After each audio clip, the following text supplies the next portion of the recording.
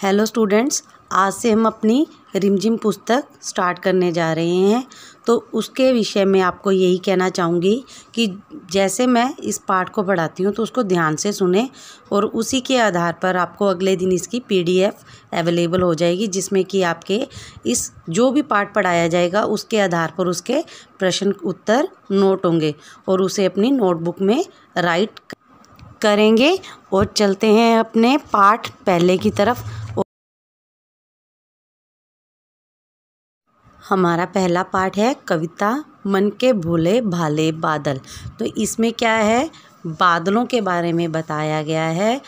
तो जब्बर जब्बर बालों वाले, गुब्बारे से गालों वाले, लगे दौड़ने आसमान में झूम झूम कर काले बादल। इसमें बादलों को कहा गया है कि ऐसे लगते हैं जैसे बालों के गुच्छों से भरा हुआ बादल और गुब्बारे जैसे गालों वाला और आसमान में जैसे झूम झूम झूम कर काले बादल आसमान में दौड़ लगा रहे हैं। और अगले पैरा में है कुछ जो जो जोकर से तोंद फुलाए, कुछ हाथी से सूंड फुलाए, कुछ ऊँटों से कुबड़ वाले, कुछ परियों से पंख लगाए।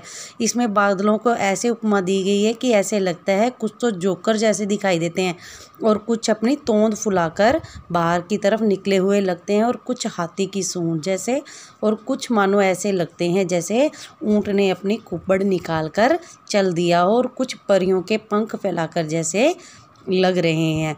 आपस में टकराते रह रहे शेरों के मतवाले बादल।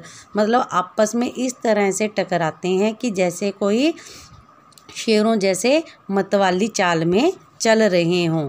कुछ तो लगते तूफानी, कुछ रह रह कर शैतानी। कुछ अपने थैलों के चुपके झरझर झर बरसाते पानी। नहीं किसी की सुनते, कुछ भी ढोलक ढोल बजाते बादल।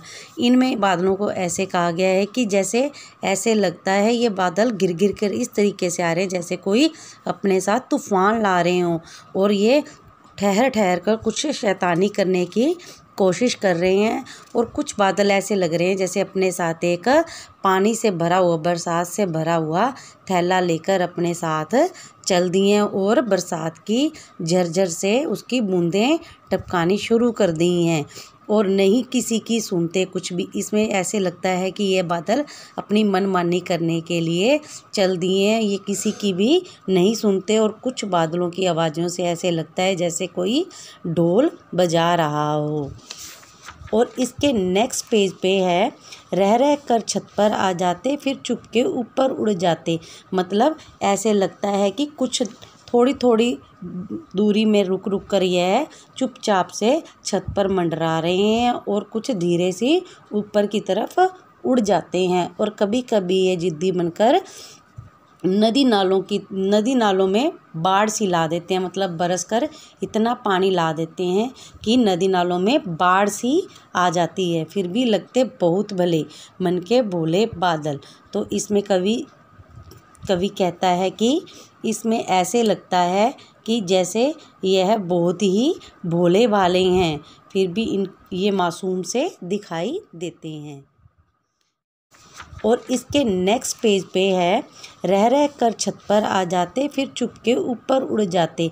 मतलब ऐसे लगता है कि कुछ थोड़ी थोड़ी दूरी में रुक रुक कर यह चुपचाप से छत पर मंडरा रहे हैं और कुछ धीरे से ऊपर की तरफ़ उड़ जाते हैं और कभी कभी ये जिद्दी बनकर नदी नालों की, नदी नालों में बाढ़ सी ला देते हैं मतलब बरस कर इतना पानी ला देते हैं कि नदी नालों में बाढ़ सी आ जाती है। फिर भी लगते बहुत भले, मन के भोले बादल।